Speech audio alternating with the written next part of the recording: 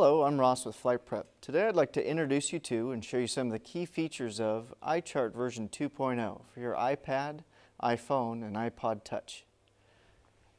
iChart version 2 introduces seamless as well as georeferenced charts. When looking at the charts, we've got georeferenced ch sectional charts, TACs, low and high en routes, as well as access to chart legends all through the chart selector here in the upper right hand corner. We also introduced georeferenced approach plates in iChart version 2.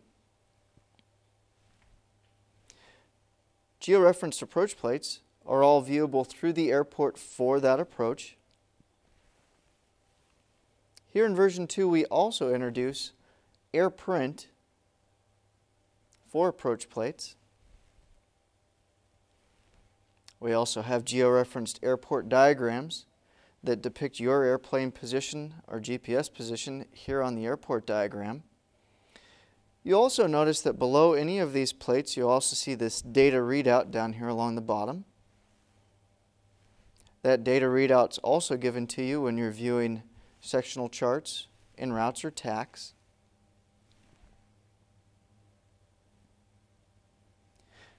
To quickly view airport information on iChart version 2, you simply need to scroll to the airport that you'd like to select, touch the airport, there's your approaches list, as well as access to diagrams, frequencies, and additional airport information. Here on the airports page, you're also able to actually look up different airports based on your nearby position, your favorites list, your recent history, or by simply touching here in the text box and typing in an airport identifier and clicking search.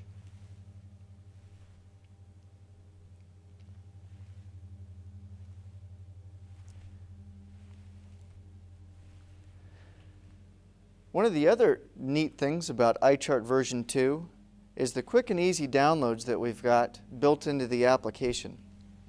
When you first start iChart version 2, the application will ask you your home airport or an airport of your choosing.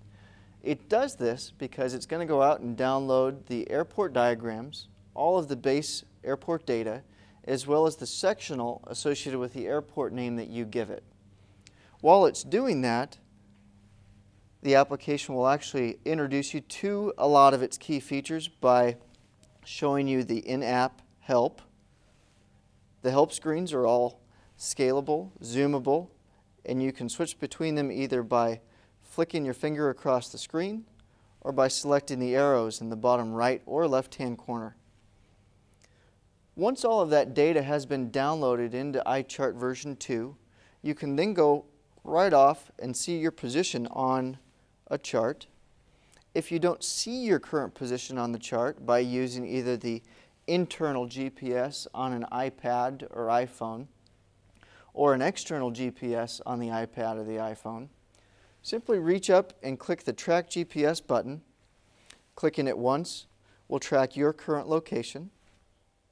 So if I'm panned or scrolled away from my location and I click on it, there I am just to the east of Aurora State Airport here in Oregon.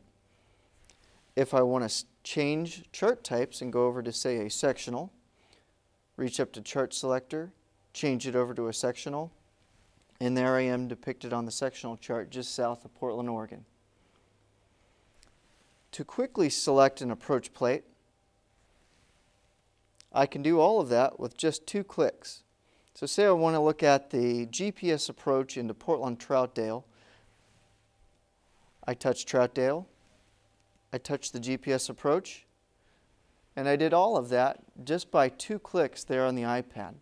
That will really minimize the amount of heads down time you have when transitioning between the charts and the plates. Same thing goes for transitioning from the approach plate over to the airport diagram. One click, two clicks, and now we can also view our GPS position here on the airport diagram. A key feature that's part of a full 30-day demo for iChart version 2 is the fact that we allow you to download all of the data that also allows you to do georeferencing and using the data all offline. So you can go out, download all five gigabytes worth of data if you like, and take a test flight or test flights with iChart version 2. Thank you very much for your time. If you have any questions regarding iChart or any other FlightPrep products, please give us a call at 503-678-4360. See us online at www.flightprep.com or you can also email us at sales at flightprep.com. Thank you.